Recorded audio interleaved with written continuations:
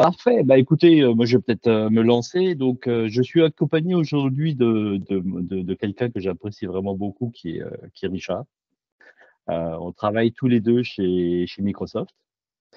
Et euh, actuellement, on a le même rôle, Cloud Solution Architect. Donc, forcément, on va vous parler quand même un tout petit peu de cloud, juste un peu. Et euh, c'est ce que je disais tout à l'heure euh, en dehors euh, de l'enregistrement. On est là en fait en tant que passionné de data, pas comment dire, on n'est pas là en tant que Microsoftie. Donc simplement, on, est là pour partager des choses avec vous. Donc ça n'engage que nous ce qu'on va raconter pendant les 45 minutes qui viennent. Je vois qu'il y a une question. Alors, je sais pas, il y a, question attends, il y a Non Bilal qui a levé la main, mais je sais pas si c'est Ouais. pour dire Ah, bonjour. ah, ouais, bonjour à tous. Désolé, c'était juste pour dire bonjour, effectivement. Ouais, on est, on est matinaux, donc euh, disons qu'on ne s'est pas encore bien réveillé. Bonjour Bilal. Donc bonjour à tous. Ce qu'on va faire aujourd'hui, c'est qu'on va vous parler un petit peu de euh, comment est-ce que euh, 2000, euh, est-ce que Server 2022 ouvre un petit peu le champ du possible dans la partie euh, Azure hybride. Donc typiquement, l'idée c'est de garder les données qui sont euh, on-prem, on-prem, et de regarder un petit peu derrière ce qu'on peut faire pour euh, justement utiliser les fonctionnalités de Azure au travers d'SQL Server. Donc, je ne sais pas si Richard, tu veux, tu veux rajouter quelque chose. Ah ouais, déjà, tu as, bien dépeint le, le Ça sujet. marche. Donc, euh, Alors, SQL Server 2022, qu'est-ce que ça vous apporte? En fait, euh, il y a eu un gros travail qui a été fait sur euh, l'hybridisation dans SQL Server de- 2022. Et alors, il y a deux, trois petits thèmes qu'on va aborder un petit peu plus par la suite, qu'on va un petit peu euh, étoffer. Et euh, le premier, c'est justement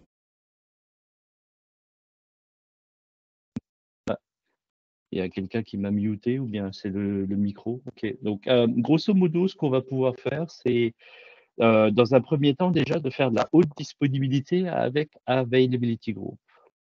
Donc, typiquement, en fait, SQL Server 2022 avec du managed instance et en capacité de faire euh, de la haute dispo. J'en dis pas plus parce que Richard nous fera une petite euh, présentation euh, tout à l'heure. Il y a aussi le- le point suivant, ça va être de dire qu'on peut en fait faire des liens de données. Donc typiquement, on, aspire en fait euh, les données pour pouvoir pour les pousser, par exemple ici dans, notre cas, c'est pour euh, le pousser dans du Azure euh, Synapse Analytics. Donc pour faire en fait du décisionnel à partir de vos données on-prem.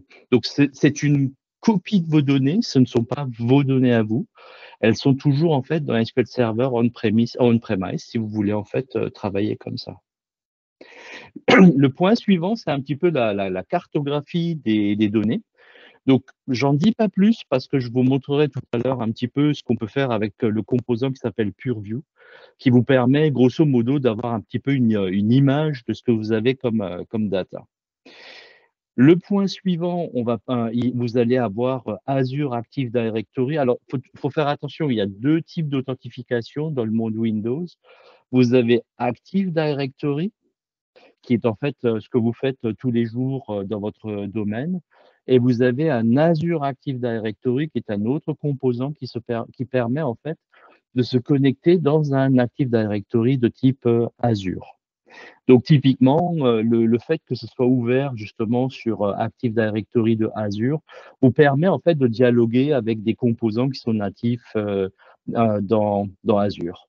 Donc les, je pense à des, à des Azure fonctions ou, ou autres. Donc ça, ça permet aussi d'avoir, si jamais vous voulez faire une transition plus, plus simple vers Azure, ça permet en fait d'avoir le pont d'authentification entre les deux. Et le dernier composant dont, euh, qui, a été, qui a été introduit, c'est euh, Microsoft Defender. Je, vais juste vous en parler un petit peu plus parce que euh, n'a pas de, on pas de démo euh, sur cette partie-là. Mais en fait, Microsoft Defender, c'est en fait c'est une solution qui permet euh, typiquement de hum, comment dire, c'est de faire un petit peu de euh, de chercher un petit peu sur l'activité de SQL c'est, par exemple, c'est d'analyser les trames euh, de les, requêtes pour voir un petit peu ce qui, en fait, est potentiellement une attaque. Donc, je ne sais pas, par exemple, la table des, des, des, clients qui se fait attaquer euh, en permanence. Euh, bah, typiquement, ça pourrait être une fuite de données. Donc ça, c'est le genre de choses que pourrait faire Microsoft Defender euh, et que SQL Server ne fait pas de manière euh, native. Alors tout ça, ça fonctionne. Vous avez des petits composants donc, qui, qui ont été rajoutés. Et donc euh, tout à l'heure, ce qu'on verra, Charles vous, vous fera une petite démo avec ce qu'on appelle le distributed availability group entre du service on-prem, entre du pass et du, euh, des, des, serveurs on-prem. Et on a aussi la partie Azure euh, Arc Agent qui permet justement de faire la, le lien, en fait, qui permet de descendre ces fonctionnalités de Azure et qui vous va, va vous les pousser sur, euh, sur votre euh, on-prem. Alors, parlons un petit peu de ce qui a changé au niveau des, euh, du, du, setup. Donc, on a deux, trois petites choses qu'on a rajoutées sur, euh, sur le setup. Et entre autres, donc on a la partie, euh, on a la, on a la partie Azure Arc Extension. Donc typiquement à partir de du setup directement par rapport à, à, au fameux agent dont je vous parlais tout à l'heure, bah en fait vous pouvez directement l'installer au setup, le configurer et donc de, de, de dialoguer avec euh, avec euh, votre partie euh, Azure. L'autre l'autre chose aussi qu'on a rajouté, c'est un nouveau type de licence qui est le, le le pay as you go. Donc, grosso modo, en fait, vous pouvez, si par exemple vous avez des environnements de, de dev ou peu importe, et vous voulez payer en fait vos licences à la consommation sur une machine on-prem. Hein, on parle bien d'une machine on-prem ici. Donc, vous pourriez en fait activer le Pay as you go. Alors, vous voyez, une fois que vous l'avez activé, vous avez plusieurs euh, types de licences, Standard, Enterprise, et du coup, vous pouvez consommer quand la machine est up. Vous pouvez en fait payer la licence et vous pouvez surtout ne pas la payer quand la machine est arrêtée.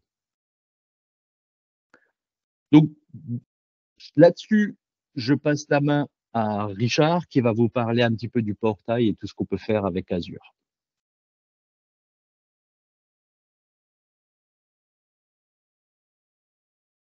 Alors Richard, tu es en mute, hein, t'entends pas. Oui, ça va mieux.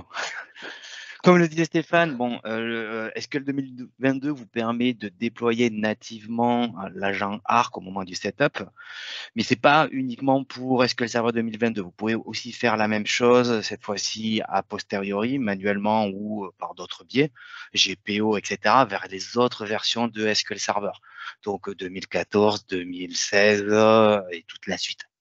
L'objectif principal, ça va être quoi? C'est d'utiliser Azure Arc comme control plane sur tous vos assets SQL et donc de pouvoir avoir une vision dessus.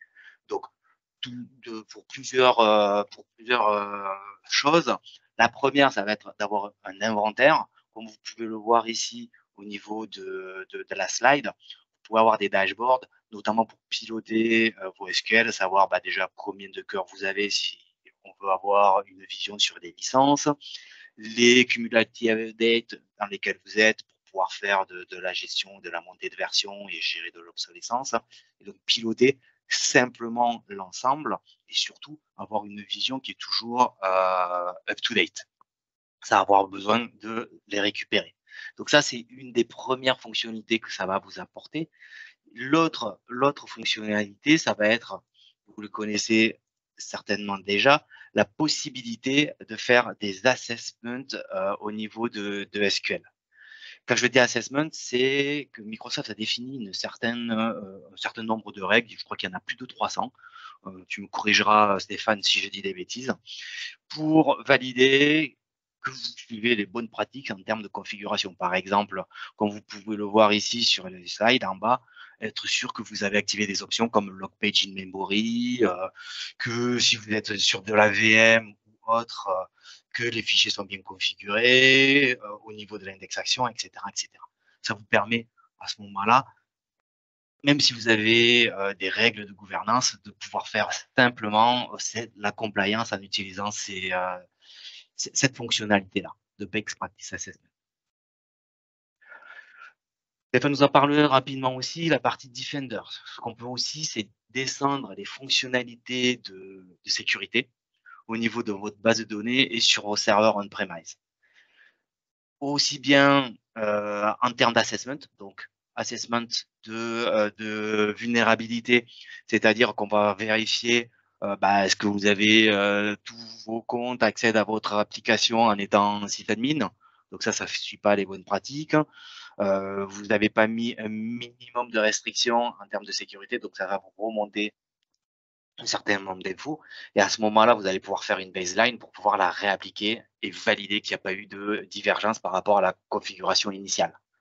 L'autre point, ça va être la sécurité un peu plus active. Donc, tout ce qui est détection, par exemple, de SQL injection, euh, ça va vous permettre d'identifier ces éléments-là et de vous monter des alertes. Tout ce qui est aussi suspicion d'attaque brute force, en théorie, on ne devrait plus utiliser de l'authentification SQL si on suit les standards en termes de sécurité. Mais bon, dans la vraie vie, on sait ce que c'est. Euh, il y a des applications legacy dont on ne peut pas s'en passer. Et à ce moment-là, si vous avez euh, une connexion qui se connecte, qui essaye les passwords un à un, vous allez avoir une détection d'attaque brute force qui va pouvoir remonter, indiquant l'IP source que vous puissiez à ce moment-là soit bloqué au niveau de votre euh, de vos firewalls ou prendre les actions nécessaires et aussi va vous permettre aussi de détecter des comme on appelle des, des activités un petit peu euh, euh, atypiques, c'est-à-dire que vous avez un login qui s'est pas connecté depuis six mois et puis d'un seul coup il se connecte à partir d'une IP à l'autre bout de la planète. À ce moment-là, il y a de grandes chances que ce soit une activité, on va dire, Et donc, va vous permettre de remonter ces informations-là. Et tout ça par l'intermédiaire d'Azure Arc euh, qui va vous remonter uniquement des métadatas au niveau euh, de, votre souscription Azure pour pouvoir avoir un control plane euh, complet, aussi bien de vos assets Azure, on-premise, on-premise ou alors sur d'autres cloud providers comme AWS ou GCP. Donc de ce côté-là, ça va être un point central. Euh, l'autre point dont on n'a pas parlé, c'est qu'il va vous permettre aussi de remonter par exemple des logs, euh, euh, faire du patching, activer aussi de la sauvegarde, etc., etc. Donc, on va basculer sur la partie business continuité. Je te laisse la main, Stéphane. Oui, donc en fait, l'un des, des challenges qu'on a enfin comment dire, euh, l'une des, problématiques, c'était toute la partie euh, migrabilité, puis euh, surtout le disaster recovery au niveau des SQL Server. Lorsque par exemple vous n'avez pas des, vous n'avez pas forcément une, une, plateforme chez vous qui vous permet de manière sécurisée d'assurer par exemple un disaster recovery. On a maintenant la possibilité, alors avant on avait déjà la possibilité d'avoir dans un availability group la possibilité en fait d'avoir un nœud qui était dans euh, Azure. Là, on a poussé un petit peu, un peu plus loin encore. Euh, on a la possibilité maintenant de faire un distributed availability group entre un serveur SQL qui est de type euh, on-prem ou même dans un autre euh, cloud. Ça, alors, on n'en a pas parlé tout à l'heure, mais c'est ouvert aussi euh, multi-cloud et vers un système qui est complètement managé, qui est en fait, qui s'appelle SQL Server Managed Instance, qui est donc un service de type PaaS dans Azure. Donc l'idée qui est là, c'est de dire que on va mettre en place, comment dire, un lien donc de type Distributed Availability Group, comme potentiellement vous l'avez déjà chez vous entre deux services on-prem. Et en fait, vous allez faire une recopie de données de manière euh, asynchrone entre SQL Server on-prem et euh, Azure Managed Instance. Donc, ça permet, si par exemple, vous avez pas, hum, comment dire, vous voulez pas investir euh, des sommes faramineuses dans un deuxième data center et vous voulez quand même avoir euh, un système qui, euh, qui est résilient à une panne de site, ben en fait, ça peut être l'une des solutions. Sachant que le, le, Azure Managed Instance, lui, en plus, peut aussi être résilient aux pannes. Donc, à moindre coût, en fait, ça vous permet d'avoir une solution qui euh, va déporter le, problème euh, euh, chez nous. Et derrière, en fait, nous, on va pouvoir vous assurer la partie disaster recovery. Alors, je rappelle quand même parce que souvent, en fait, c'est une erreur que j'ai pu voir chez les clients. Normalement, un disaster recovery, ça veut dire vraiment beaucoup, beaucoup, beaucoup de distance entre les deux. Euh, dans les anecdotes, j'avais un client, par exemple, qui avait euh, ses deux data centers à côté de la Seine à, à 30 km de distance. Alors déjà, 30 km, c'est pas, c'est pas énorme. Et en plus, euh, je disais, oui, mais quid d'une, d'une crue de la Seine vous, vous faites comment? Euh, Parce que bon, si vous avez une crue en amont, vous, avez, vous risquez de l'avoir aussi en, en aval. Donc, ça vous permet d'avoir une solution à, moindre coût. Qui plus est, vous pouvez même faire du reporting et ainsi de suite sur la partie euh, dans, dans Azure. Donc, euh, votre, votre managed instance, lui, va être, euh, il va être disponible pour tout ça. Alors, effectivement, justement, les use cases, on parle de DR, mais on peut aussi avoir d'autres use cases dont on ne pense pas. Des fois, c'est par exemple pour faire un move to cloud, si vous avez besoin de basculer vers le cloud, mm. ça peut être aussi un moyen pour synchroniser les données euh, et avoir un downtime minimum au moment de la bascule. Et comme le disait aussi Stéphane, pour pouvoir faire de l'analytique, vous avez une base OLTP on-prem, vous ne voulez pas la surcharger et tirer parti des fonctionnalités du cloud comme Power BI Services ou autre. Vous pouvez tout à fait à ce moment-là répliquer vos données euh, de ce côté-là, ou voire même pouvoir faire du test sur, sur les données euh, en read-only. C'est ça. En fait, vos données sont disponibles en read-only directement dans Azure. Et effectivement, comme disait Richard, si vous basculez en fait de rôle, bah, vous vous retrouvez euh, à d'avoir en fait vos données qui sont dans Azure et exploitables comme si vous étiez en fait euh, dans votre data center. Alors, comment ça marche? Ah, il y a une question, Bruno. Oui, il y avait juste une question. Donc, imagine, on est dans un scénario de disaster recovery. On, bascule, vers, on bascule vers Azure. Donc, je suppose qu'à ce moment-là, on peut dire que Azure devient le master, qu'on peut faire des, on peut faire en sorte que l'application va écrire directement dans Azure. Oui. Fatalement, elle ne s'est pas répliquée de l'autre côté, vu que l'autre côté est dans. Comment tu fais alors si, euh, je ne sais pas, trois jours après, bon, ton data center est up, ton on-premise est up, comment tu fais pour euh, rebasculer et dire, bah, en fait, mon master, c'est on-premise et c'est plus, euh, et c'est plus lourd? Alors, la réponse, elle est dans deux slides. Si tu, on, va, on va avancer un petit peu, puis euh, on, te montrera en fait comment, comment ça marche. Parfait, merci. Je t'en prie. Ok, alors, euh, comment ça fonctionne?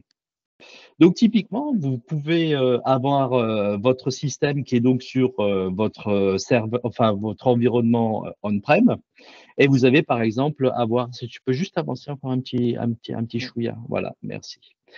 donc vous pouvez avoir votre votre site on-prem qui lui va déjà contenir un availability group, parce qu'en fait, c'est ça le principe du distributed availability group. Donc, vous avez en fait déjà votre groupe qui, euh, qui, qui, qui va être primaire, qui va être euh, euh, on-prem. Et derrière, ce qu'on va faire, c'est qu'on va créer une communication qui va se faire entre le entre votre euh, managed instance et votre groupe qui se trouve on-premise. Donc, typiquement, ce qu'on qu'on est en train de faire, c'est qu'on est en train de faire une extension de ce que vous avez. Donc, ce que vous aviez avant reste vrai et continue à fonctionner.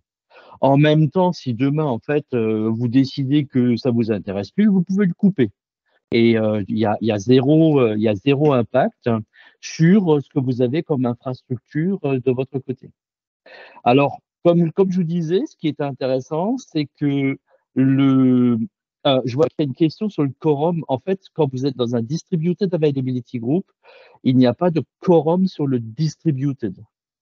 Euh, lorsque vous avez du distributed availability group, c'est toujours de l'asynchrone et c'est toujours une décision euh, humaine de basculer. Donc, il n'y a pas, il n'y a pas ce concept de quorum comme on peut l'avoir, par exemple, au sein d'un availability group. Je vous rappelle, le distributed availability group, c'est en fait, ce sont deux couches d'availability group. Mais après, il y a peut-être une chose aussi à préciser, c'est que là, on parle effectivement de distributed availability group. Donc, vous avez à l'esprit ce qu'on a l'habitude de faire on-prem. C'est la même technologie. Mm. Sauf que là, on parle plutôt de fonctionnalité. Si vous recherchez, on va appeler ça MI-Link, Manage Instance Link. C'est une mm. version simplifiée. C'est-à-dire que vous n'avez pas besoin de mettre en œuvre un cluster Windows euh, sous-jacent pour pouvoir implémenter le MI-Link. Comme le disait Stéphane, si vous mm. avez déjà un cluster existant, donc il n'y a pas de souci, ça va se greffer dessus. Mais si vous avez un serveur standalone, justement pour simplifier cette réplication-là, il n'y a pas besoin de remonter une couche cluster mm. sous-jacente. Tout à fait. Vous avez deux composants qui sont euh, indépendants en fait entre votre on-prem. Comme dit, lui, il reste comme il est. On fait simplement une, une, duplication de données et vous avez en fait votre partie Azure qui est complètement autonome aussi. Donc là, comme vous pouvez le voir, donc vous avez votre site primaire qui va continuer à travailler comme vous avez l'habitude, et vous avez votre euh, availability group qui, en plus, on peut modifier euh, son comportement en changeant de tiering. Par défaut, si vous prenez par exemple du, euh, comment, un composant de type general purpose, vous avez un seul serveur. Mais si vous montez dans du business critical, vous pouvez avoir plusieurs serveurs et vous pouvez même faire du lissage de charge sur ces différents serveurs. Donc, on peut vraiment s'en servir euh, pour faire du reporting et on peut même monter en gamme simplement en changeant le tiering. Donc, ça, c'est la beauté de la chose aussi quand vous êtes dans un service de type pass. En fait, vous avez simplement des potentiomètres à, bouger et en fait, votre, votre instance, ça va devenir plus ou moins euh, volumineuse et avec de plus en plus de capacité. Et vous pouvez bien sûr aussi revenir en arrière. Et, surtout, comme disait Stéphane, en fonction du tiering, par exemple, un truc intéressant à savoir, c'est par exemple du business critical. Par défaut, vous, allez droit, vous avez droit à un répliquant en lecture seule gratuitement, sans mm. surcoût supplémentaire. Quoi. Ça, c'est super important à connaître pour pouvoir utiliser si vous passez sur ce type de, de tiers.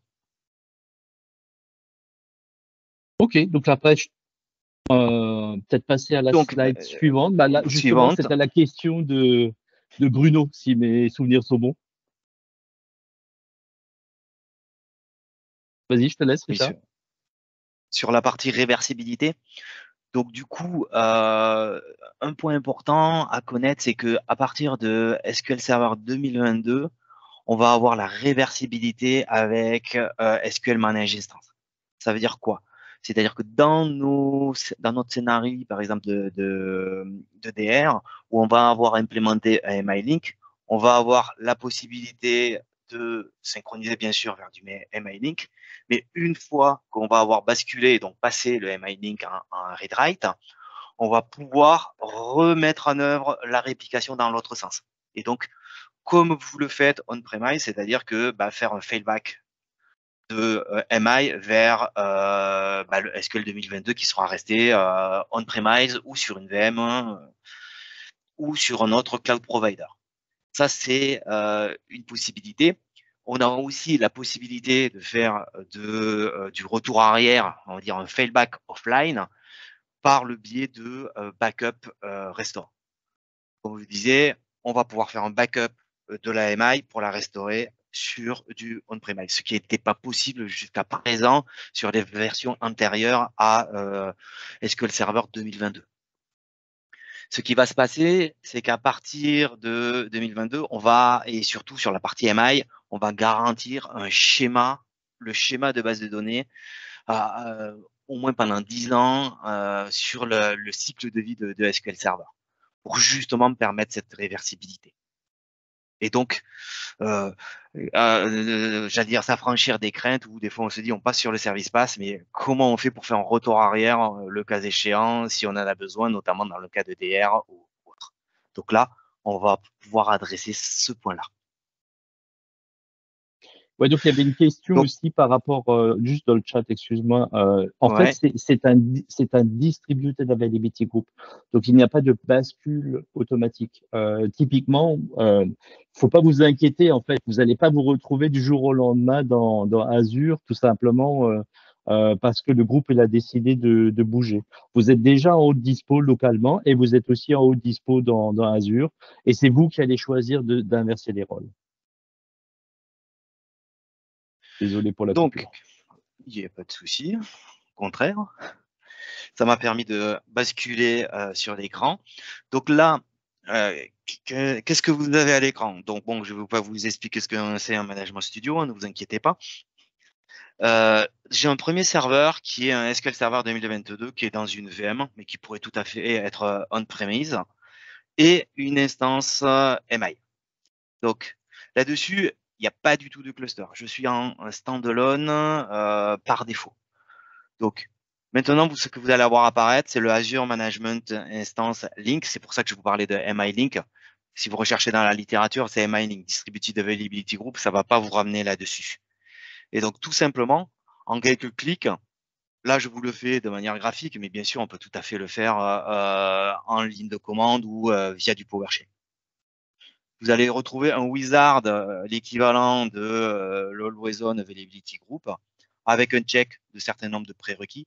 Juste pour vous donner des prérequis, il y en a certains qui sont un peu plus évolués, avancés et, à mettre en place, notamment lorsqu'on est un SQL Server 2016. Donc, en fait, plus on s'éloigne euh, de 2022, plus les prérequis sont, sont importants. Vous avez besoin de configurer, cette fois-ci, malgré tout, un serveur, euh, plutôt un service cluster, mais une patte pour émuler euh, la, fonctionnalité. Mais sinon, là, avec du 2022, la seule chose qu'on vous demande en termes de requirements, c'est d'appliquer un certain nombre de trace flags un premier trace flag, c'est pour garantir la taille des blocs au niveau du log à 4K pour être compatible avec le, avec le cloud et notamment les, euh, les cluster size. Et un autre, c'est pour de l'optimisation, c'est pour la compression, l'envoi de données au moment du seeding. Ce que vous a montré Stéphane, c'est-à-dire qu'à l'initialisation des bases de données, on ne fait pas du backup restore, on fait du backup à travers d'un flux, ce qu'on appelle le seeding, qui est restauré directement de l'autre côté, sans avoir besoin d'avoir un stockage intermédiaire. Donc, une fois que ça c'est fait, tout simplement, on va choisir notre base de données. Donc là, j'en ai déjà une qui est en place, mais euh, je vous montrerai ça tout à l'heure. Et donc là, on va se connecter au niveau du cloud. Bien sûr, il faut quand même une connectivité entre les deux. Et on fait pas ça à travers l'Internet et on n'utilise pas les endpoints publics. Ça veut dire qu'à euh, minima, c'est un VPN ou une express route entre euh, votre euh, data center on-prem et le cloud. Donc là, on choisit notre destination. On se reconnecte sur la base email. Si je me rappelle du mot de passe. Voilà. Et une fois que ça va être mis en place, comme vous pouvez vous douter, c'est qu'habituellement, quand on met du cluster, on est dans un, environnement Active Directory et donc on s'appuie sur la sécurité Active Directory. Donc là, on peut être sur deux machines standalone, on n'a pas besoin d'Active Directory, c'est pour ça que les endpoints vont être sécurisés via des certificats. Et la seule chose que ça demande en prérequis, c'est d'avoir une master euh, key pour pouvoir euh, utiliser ces certificats et, les stocker. Et une fois que ça, ça va être fait, on va mettre en place euh, toute la, description que nous a fait Stéphane, donc les endpoints, le seeding, etc. Et ça se fait, comme vous pouvez le voir, en, en trois clics pour pouvoir mettre en place la synchronisation. Bien sûr, après, le temps de synchronisation initiale va dépendre du volume de votre base de données et du flux réseau que vous allez avoir euh, entre les deux. Donc là, je vais peut-être basculer sur ma deuxième base, puisque souvent ça prend peut-être quelques secondes à une minute. Hein. donc pour pas avoir à patienter.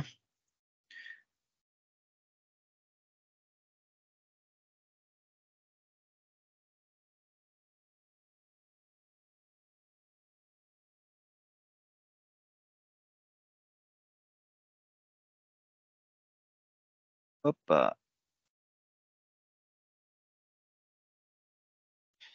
Désolé, c'est un petit peu le bazar. Ah, Donc, j'en profite, comme il y a un petit voilà. mort. Euh, les, les, GMSA, en fait, euh, on peut continuer à les utiliser sur on-prem. De toute façon, la sécurité dans Azure est différente. Donc, on peut très bien utiliser. Euh, alors, déjà, le concept de GMSA, vous n'avez plus besoin de vous en poser quand vous êtes en, en mode passe, puisqu'en fait, les services sont gérés par Microsoft. Désolé, je te rends la main. Donc, ce que je vous disais là, c'est que euh, je vais avoir, euh, s'il veut bien se synchroniser, ce qu'il a fini. Voilà. Donc là, il est passé. Donc là, vous allez avoir une base de données euh, qui apparaît ici. Donc là, c'est une base toute simple avec, avec une table et qui va arriver ici à ce moment-là côté côté instance MI. Et là, vous allez avoir euh, la synchronisation euh, entre les deux. Donc, dès que vous écrivez ici, ça va être reproduit directement euh, de l'autre côté. quoi. Donc là, vous pouvez voir, là, je suis sur ma deuxième instance, donc qui a déjà basculé vers, vers le cloud. Donc, vous en allez avoir un qui est un read-only et l'autre qui est, qui est un read-write. Et donc, ce que vous allez avoir la possibilité de faire ici, c'est de basculer euh, cette fois-ci la base de données avec deux modes. Donc, le mode par défaut, c'est-à-dire que euh, qui est GA, qui est un General Availability, c'est-à-dire qu'on va pouvoir passer euh, de read-write qui était on-prem un read-write qui est sur l'instance manage instance, et à ce moment-là, on va supprimer la, la, réplication. Et l'autre possibilité, ce dont je vous parlais, c'est le failover online qui va vous permettre cette fois-ci de basculer euh, dans un sens, mais surtout de pouvoir revenir ensuite en arrière euh, lorsque vous le souhaiterez. Donc, c'est-à-dire euh, repasser en read write euh, sur un read, j'allais dire sur le on-prem en faisant vos écritures sur sur le cloud et manage instance.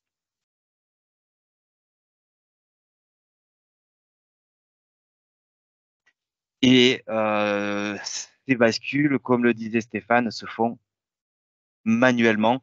Il n'y a pas de, de, de, bascule automatique puisque comme on est, euh, il n'y a pas de cluster, il n'y a pas de quorum, etc. C'est c'est vraiment pour des cas de DR où on va déclencher ça en général manuellement. Et à ce moment-là, on va inverser les rôles au niveau de chacun de nos réplicas. Donc le primaire, on va passer secondaire et le secondaire euh, primaire.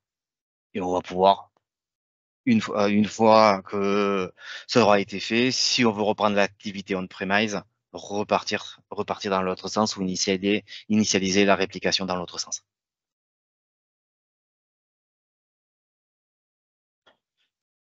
Et donc voilà les, voilà les points. Est-ce que vous avez des questions par rapport à ça? Ouais, donc il y avait une question use case. Euh, grosso modo, on a, on a déjà un petit peu esquissé. Euh, mhm. Disaster recovery, c'est vraiment le, le, truc euh, super important. Le reporting, donc euh, typiquement, c'est ce que je vous disais, on, on, a même en fait du scaling sur sur le service pass et bien sûr aussi une migration vers le cloud qui est quand même euh, fortement simplifié puisque c'est simplement une bascule de rôle et vous vous retrouvez en fait dans, dans le cloud. Donc j'insiste, c'est toujours une opération manuelle pour la bascule. juste une chose, on est d'accord, euh, c'est ce qu'on a vu, je pense, dans le dans l'assistant. Euh, c'est pas du c'est pas du basculement avec perte de données possible. C'est il y a une, une synchronisation avant basculement. C'est ça? Tout à fait.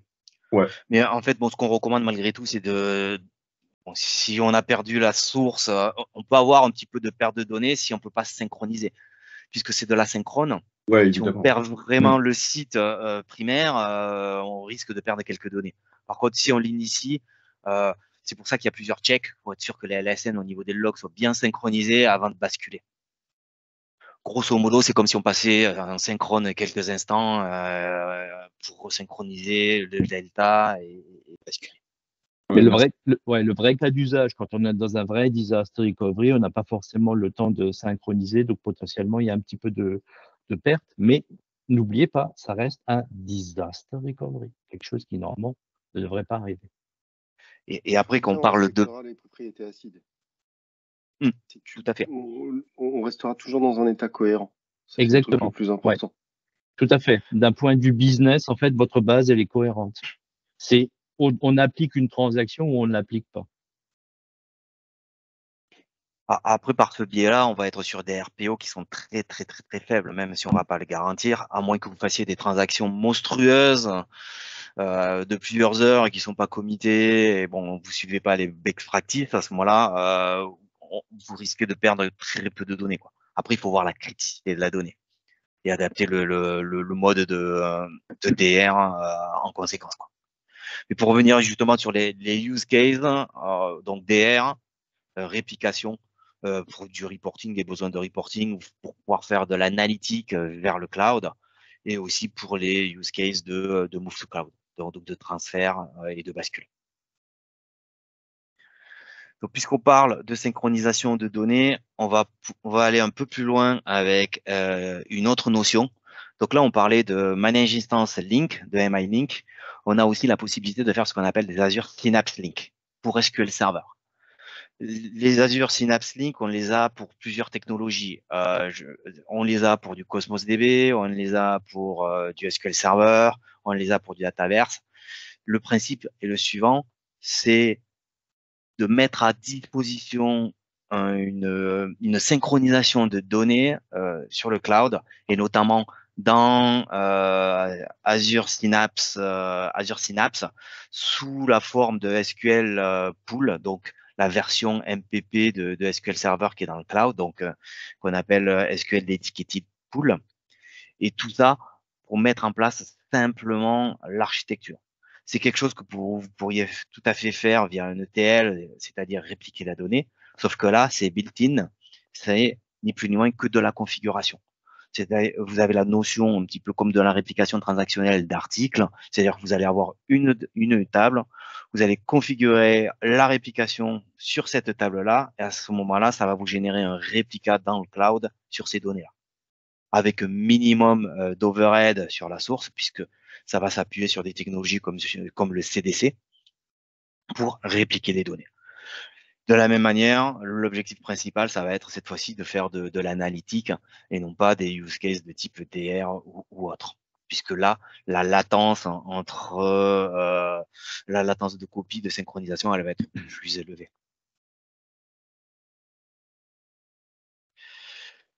Intégration avec PureView.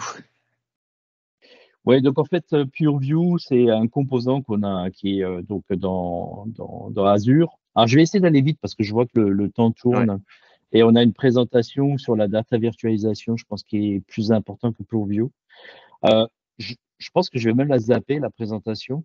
Euh, PureView, en fait, c'est un système de, de, de, catalogue de données au niveau de votre euh, de la partie euh, Azure c'est ça vous permet de savoir en fait quelles sont les données qui sont sensibles et d'avoir une carte de tous les tous les objets, les, les tables, les colonnes, les euh, absolument tout en fait de ce que vous pouvez avoir dans Azure. C'est bien sûr, ah, pardon, de ce que vous pouvez avoir dans votre parc, c'est un, un data estate. Donc, euh, vous savez par exemple que vous avez du customer sur un Cosmos DB, sur une base on-prem dans AWS, euh, dans, euh, sur, un, sur un blob, un stockage blob quelque part. Ça va vraiment vous ramasser l'ensemble, ça va tout scanner. Et par-dessus, ce que vous pouvez faire, c'est que vous pouvez même greffer votre propre glossaire. Donc, grosso modo, euh, vous pouvez dire, par exemple, que vous avez des points de contact par rapport à certaines données. Vous pouvez mettre un vocabulaire qui est propre au business ou aux utilisateurs finaux. Et vous pouvez coupler ça avec des informations techniques que vous avez dans la partie base de données. Donc, euh, c'est grosso modo, c'est ça ce que ça fait. Donc, si par exemple demain vous voulez savoir euh, où vous avez les emails de vos clients, vous pouvez interroger directement la carte en disant où est-ce que j'ai des emails de mes clients et ça va vous dire partout. Ah, ben vous en avez dans du Cosmos, dans du Blob, dans du SQL et ainsi de suite. Je ne sais pas si vous avez des questions. Je préférais en fait euh, pousser ça et plutôt aller sur la data virtualisation vu le, mm. vu le temps qui nous reste. Alors, je voulais juste te dire un truc, a priori, euh, si vous êtes intéressé par Purview, regardez aussi la facturation. Hein. C'est pas forcément donné, me semble-t-il. Juste une petite remarque au passage. Ben, oui, après les, les, prix, vous avez toujours la calculatrice si jamais euh, vous avez euh, de l'intérêt là-dedans. Mais comme dit, le gros, gros avantage, c'est qu'une fois pour toutes, vous avez vraiment un data estate complet. Euh, Peut-être passer à la partie directement euh, data virtualisation, Richard. Il ne reste plus trop de temps. D'accord. Donc la data virtualisation. On parle de data virtualisation au niveau euh, du cloud, euh, au niveau du cloud, au niveau de SQL. Pour replacer un petit peu les choses, qu'est-ce qu'il y a derrière la data virtualisation? Euh, Historiquement, on va dire, ça a été du serveur lié. Ensuite, on a eu ce qu'on appelle du polybase. Et à partir de SQL Server 2022, la partie polybase a été un petit peu revue pour la simplifier. Et cette fois-ci, on va passer à travers de ce qu'on appelle des API REST pour accéder au stockage, à, des, stockages Azure. Bien sûr, je vais le voir, on va le voir dans la seconde slide, on a toujours la partie polydabase qui est toujours euh, disponible.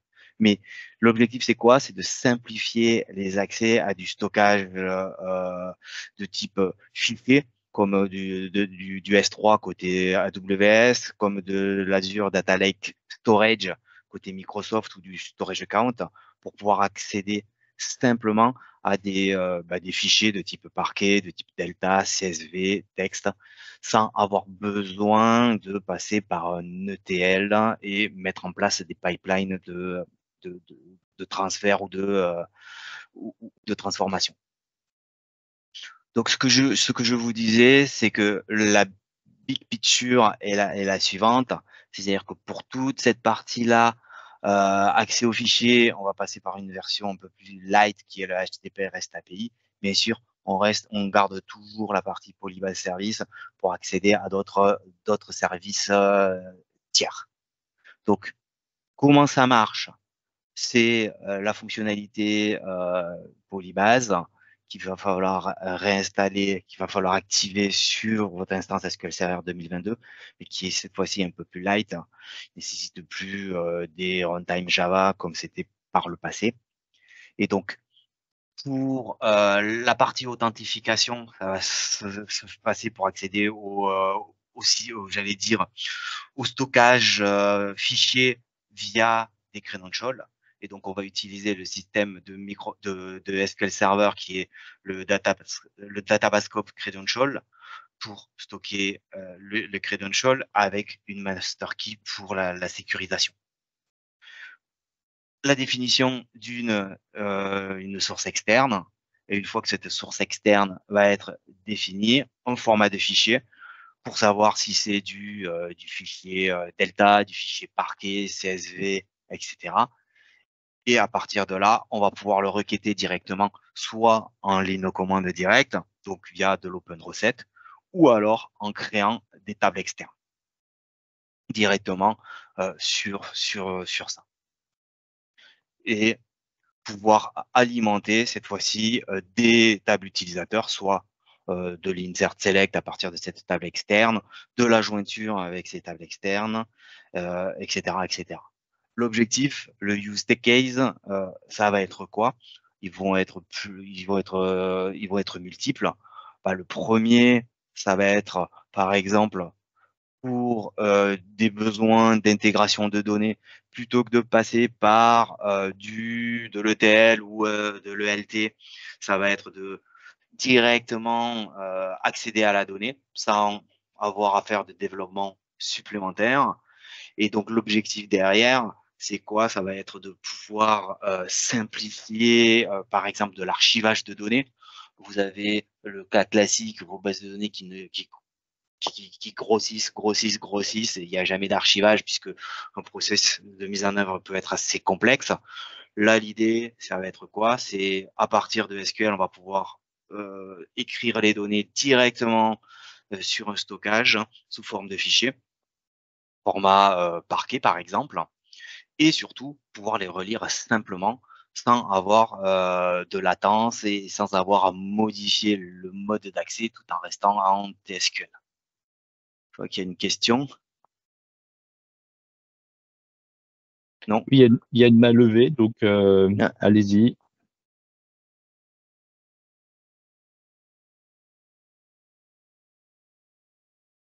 Ok, donc à ce moment-là, je vais peut-être passer à, la démo pour que ce soit un peu plus concret.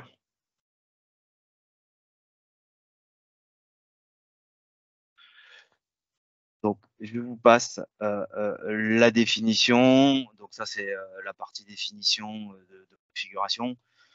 donc, ça se, met en place assez simplement. Hein. Bon, SP configure classique. On crée une master key. on crée un credential avec une SAS key pour accéder à un storage account. Euh, on définit les fichiers de format et euh, je suis passé un peu vite la source. Là, je suis sur un, ADLS Gen 2. Et une fois que l'on a ça, on va pouvoir tout simplement accéder à, nos fichiers.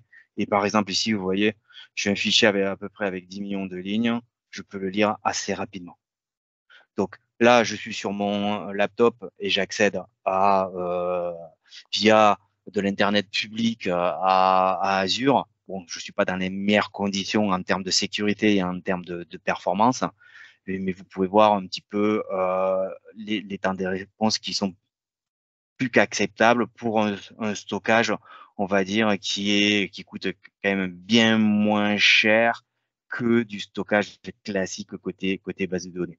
Même du Stelect avec une Closeware, c'est relativement rapide. Pour vous montrer un autre cas, j'ai pris la base connue euh, des taxis new-yorkais. Donc là, Yellow. Comment ça se compose ici euh, sur un container? J'ai mes données avec le partitioning.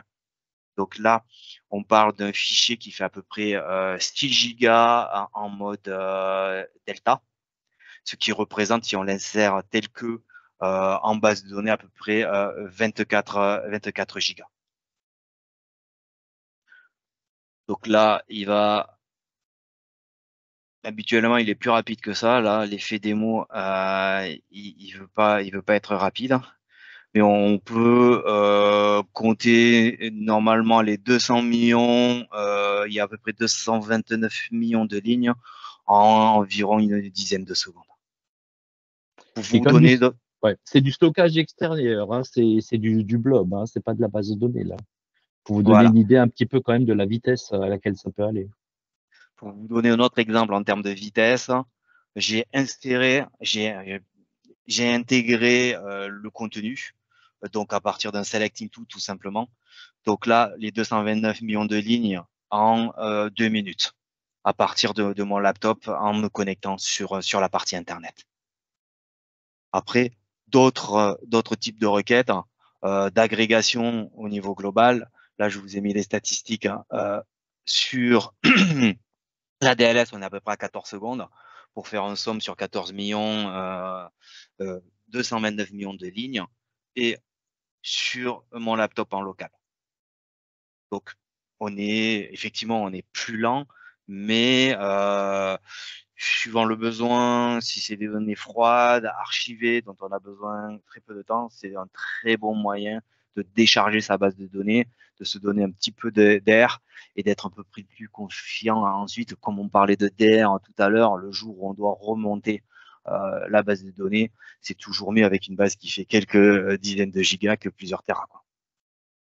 Ouais, puis si je peux juste, si vous regardez, je vous ai mis la calculatrice, si vous regardez la différence de coût entre un, du blob storage et de la database, vous allez voir, c'est le jour et la nuit. Il y a le blob storage, c'est vraiment rien du tout. Et en plus, vous avez un format qui est de type parquet, qui est donc qui est de type compressé. Donc ça prend très très très peu de place. Et en plus, vous êtes sur du stockage qui est ultra bon marché. Donc ça vous permet, comme disait euh, Richard, c'est d'avoir en fait une extension, et c'est là en fait où on voulait en arriver, c'est avoir des données froides qui se stockent à moindre coût. Et, surtout, à l'heure actuelle, on parle beaucoup d'architecture, par exemple OneLake, etc., pour euh, éviter la duplication de données, euh, optimiser les coûts. Ça s'intègre pleinement dans cette euh, dans cette logique-là, quoi, dans cette mouvance. Quoi.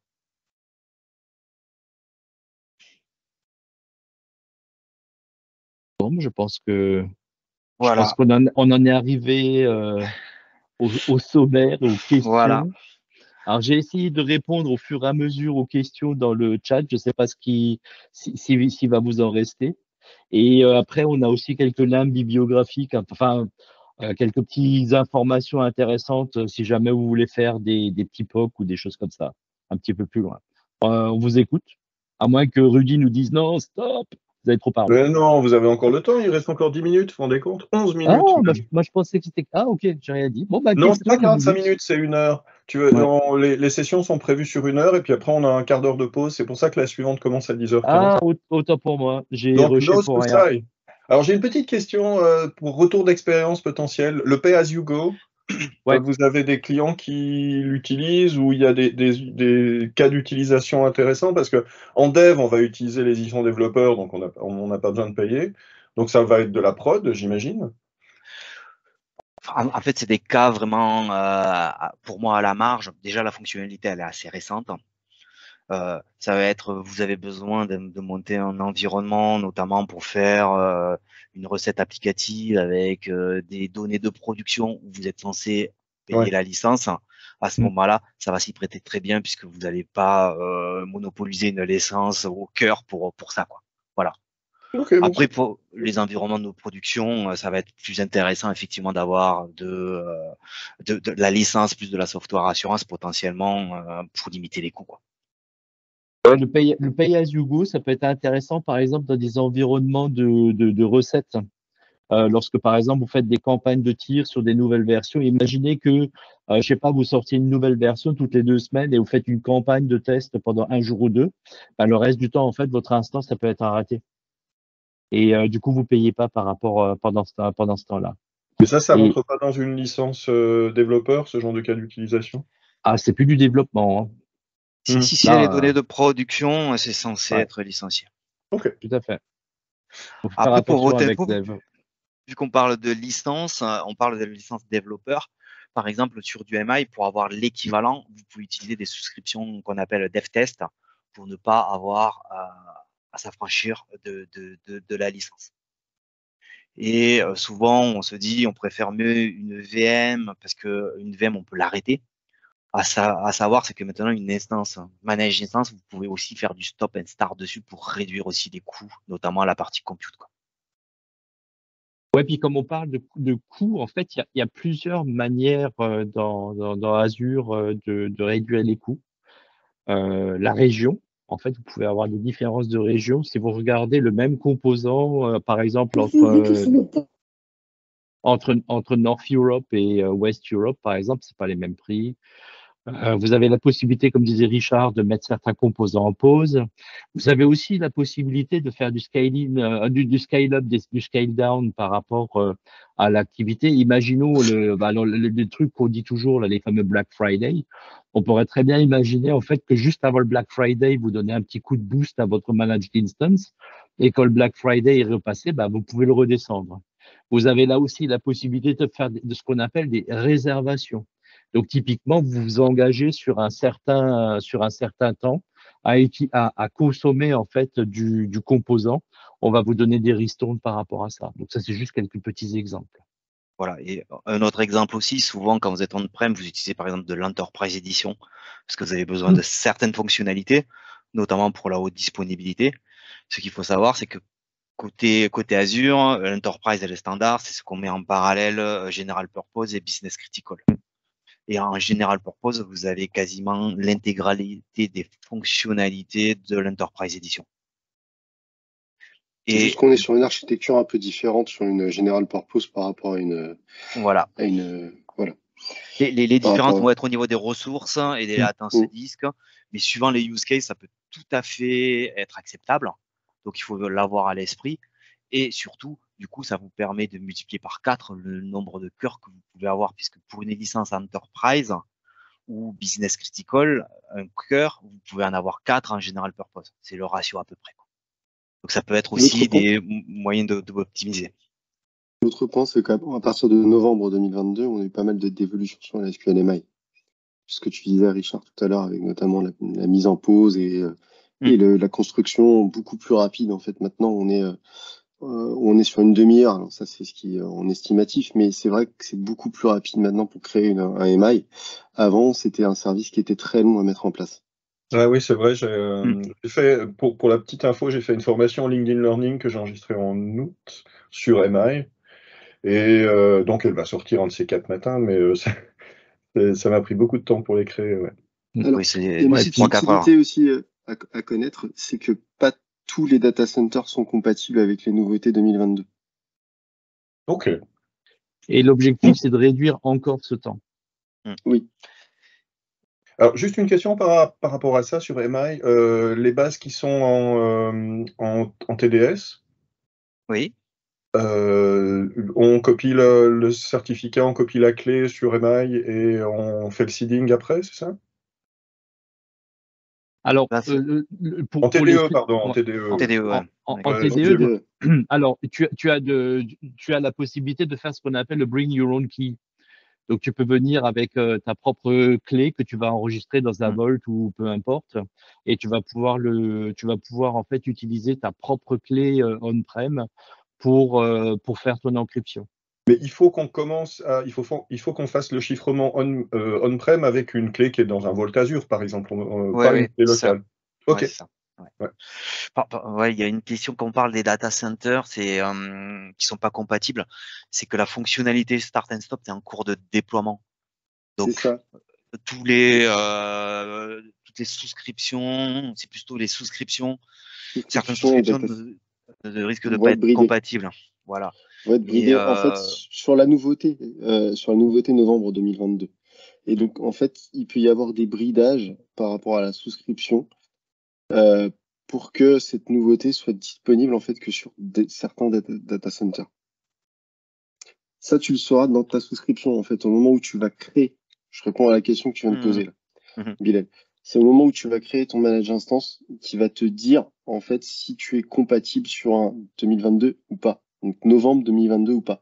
Et si tu n'es pas compatible sur un novembre 2022, tu seras sur l'ancienne méthode, donc tu vas mettre beaucoup plus de temps à être créé tu n'auras pas la mise en pause, etc. Toutes les nouveautés qui sont sorties en novembre 2022 ne seront pas à disposition. Tu le verras au moment de la création, ça. Et d'ailleurs, il va te, il va te suggérer des data centers normalement. qui, sont, euh, compatibles. Qui sont compatibles. Il y a des régions. Euh, ouais, avec des régions.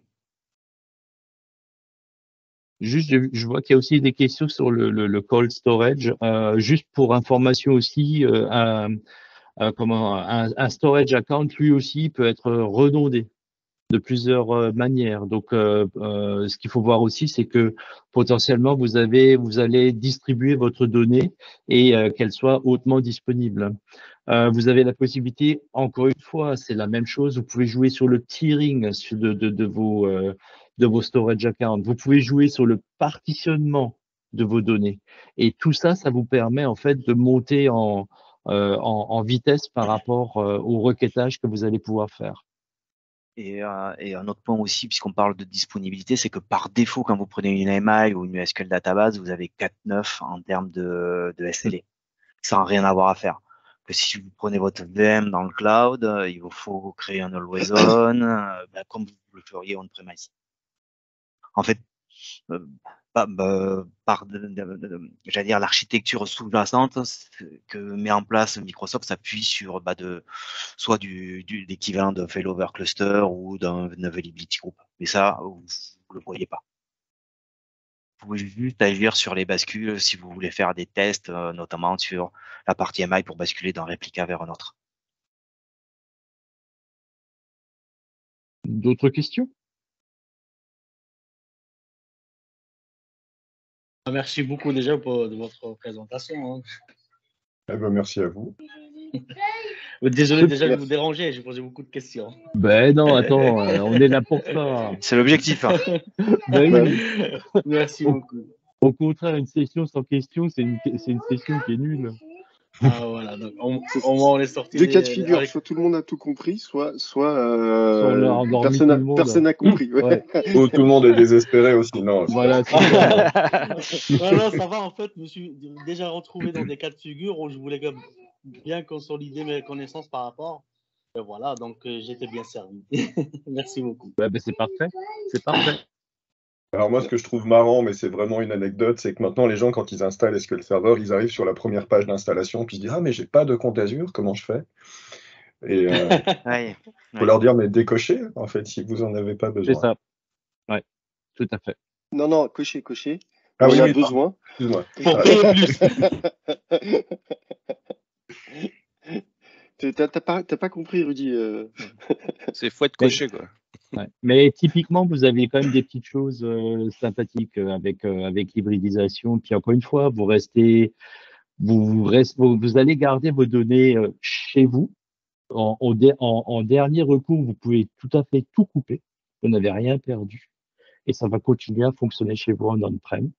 Et de l'autre côté, vous pouvez exploiter en fait le champ du possible qui se trouve dans, dans Azure. Alors, Bon, l'histoire du stockage de, données froides, c'est encore, une, autre histoire parce que du coup, vous allez avoir de la donnée qui ne se trouve que, dans Azure. Mais euh, regardez un petit peu les coûts, vous allez voir, c'est super intéressant en termes de, de stockage blob. Ok, ok. Euh, juste quand même une, une remarque euh, par rapport à ça. La calculatrice, c'est vrai que bon, je l'utilise pas euh, souvent. J'ai pas beaucoup de clients sur Azure, mais j'ai toujours un, peu peur qu'il manque quelque chose dans cette calculatrice. Alors, je sais pas si c'est moi ou par exemple, en enregistrant mes formations là chez, chez LinkedIn, j'ai fait une formation Azure SQL Database où j'ai activé un lien sur sur Synapse. Et puis le lendemain, ils m'ont, ils m'ont, ils sont venus me voir en disant, oula, euh, je ne sais plus combien, bon, je vous dis pas combien c'était facturé de la journée, mais j'ai fait un truc par défaut et euh, c'était pas bon hein, en termes de facturation. Alors, déjà, ce qu'il faut savoir, c'est que dans Azure, en plus, on peut mettre des policiers en place justement pour éviter ce genre de, de, de, de, dérive. Et en fait, sur un service pass, je dirais que ce risque est quand même beaucoup, il est quand même réduit par rapport à si vous faites du IaaS. Parce qu'il faut penser à, je dois euh, acheter pour ma machine, je dois acheter pour mon disque, pour mon réseau, pour mon truc, mon machin. Mm. Il faut tout mettre dedans. Alors que sur un service pass, en fait, c'est un service que vous prenez et en fait, il y a déjà, il y a déjà tout qui est intégré. Le, le, le truc que tu as eu, j'imagine que c'est Synapse que, voilà, qui, c'est oui, c'est Synapse. Non, le reste c'était bien. Hein, je veux dire en termes de facturation, il n'y avait pas de souci. Mais Synapse, tout à coup, ça a douillé. Ouais, euh, en fait, ta management, ouais, ta managed instance, elle n'a pas changé.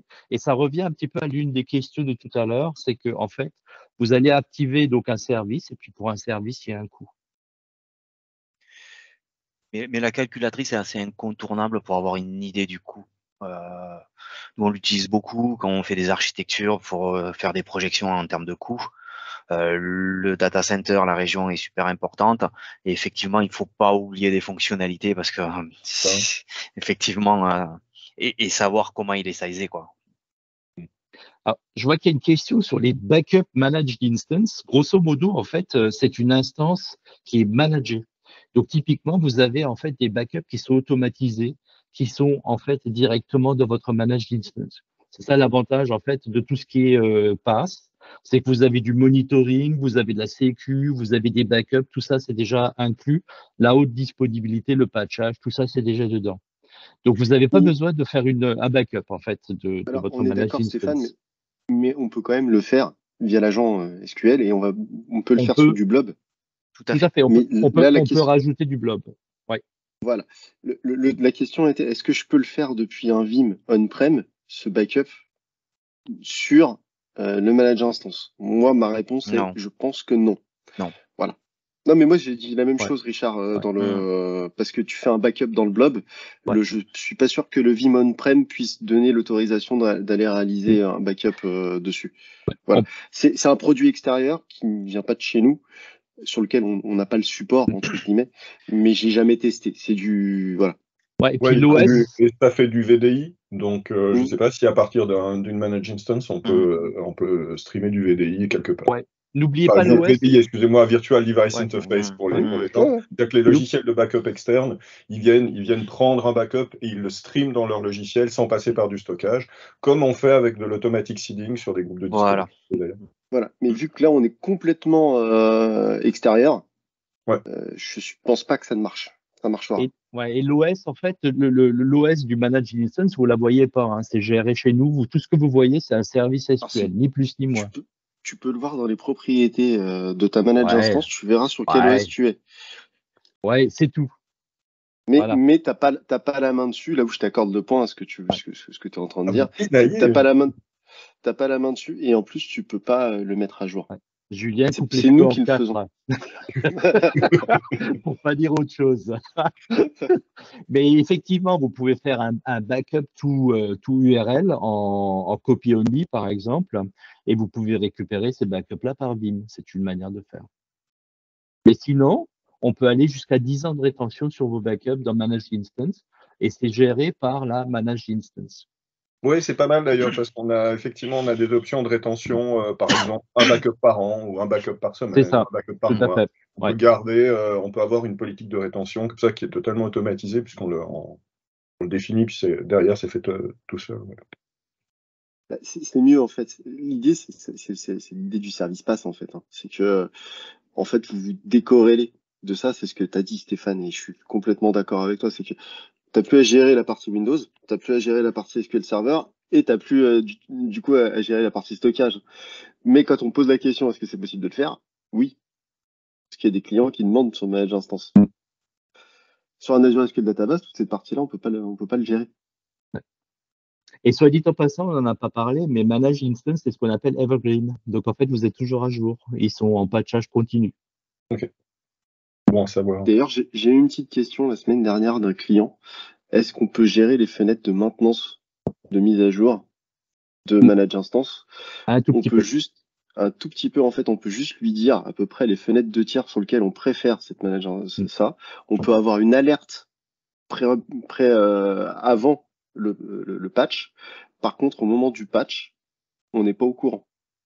On sait que ça sera dans cette fenêtre de tir, mais on ne va pas savoir exactement le moment où ça va être patché.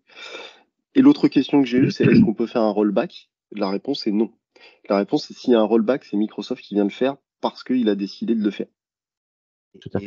Et l'autre point aussi pour éviter les perturbations, c'est d'implémenter comme on est censé le faire, même on-prem, des retry patterns au niveau des chaînes de connexion justement pouvoir se reconnecter très rapidement, puisque l'interruption, c'est ni plus ni moins qu'une bascule d'un réplique à, un autre. Donc là, ça doit être court.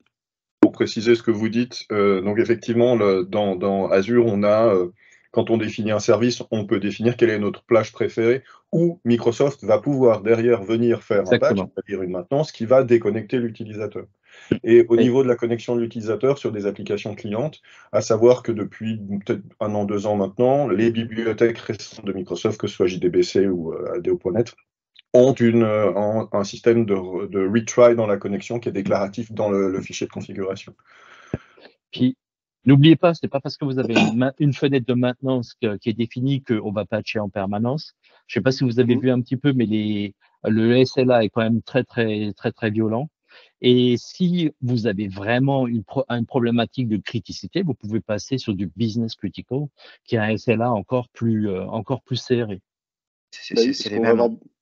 on va avoir du groupe de, disponibilité qui va être plus. Non, il y a un chouïa de différence quand même. Non, non, c'est 4-9 les deux. La grosse différence, c'est business critical, c'est les performances et le type d'architecture que vous allez avoir derrière.